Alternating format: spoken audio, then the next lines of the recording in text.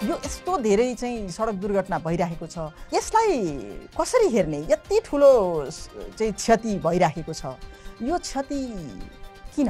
तयार नभइकन सडकमा सवारी साधन चलाउने अर्को हाम्रो यो सवारी चालक अनुमति पत्रमै त्रुटि भएको पनि देखिन्छ। र अर्को हाम्रो सडकमा प्रयोगकर्ताहरू सबै सचेत नभएको अवस्था पनि छ। रोड सेफ्टी काउन्सिल भनेको यस्तो पावरफुल बन्न पर्यो कि यस्ता यावत समस्याहरूलाई समाधान गर्नको लागि क्षतिपूर्ति र न्यायको लागि सहजीकरण चाहिँ त्यो काउन्सिलले काउन्सिलले जिम्मा लिनुपर्छ। किनभने उनीहरूले त सडक नेपालको ओभरअल सडक सुरक्षा गर्ने भनेर बनेको निकाय होइन। कि त सानो छ दुईजना छ अर्थ के अरे बजेट छैन भनेर खुम्चेर बस्न पाइयो र पोलिसी डायलगको यो बहस। आइतबार राति आठ बजे एपी वान टेलिभिजनमा र नेपाल वाच मल्टिमिडियाको युट्युब च्यानलमा।